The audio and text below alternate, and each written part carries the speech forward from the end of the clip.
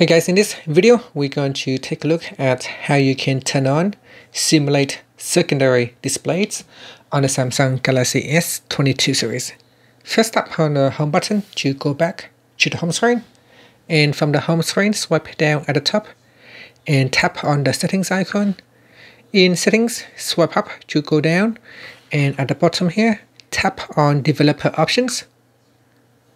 Next, swipe up to go down and then in here tap on simulate secondary display and from the pop-up you can choose the resolution for the simulate uh, secondary display so in here you can select none 480 480 pixel secure 720 1080 1080 4k 4k secure.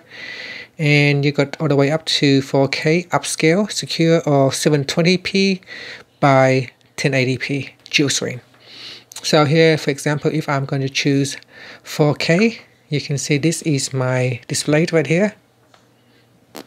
So this is a dual screen. I can move them up and down. And in here I can select a different uh, resolution. So I can choose 1080 pixel and it is smaller. I can move around the screen now. And this is a to simulate a secondary display.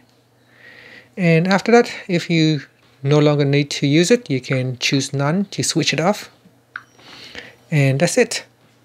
Finally, you can tap on the home button to go back to the home screen. Thank you for watching this video. Please subscribe to my channel for more videos.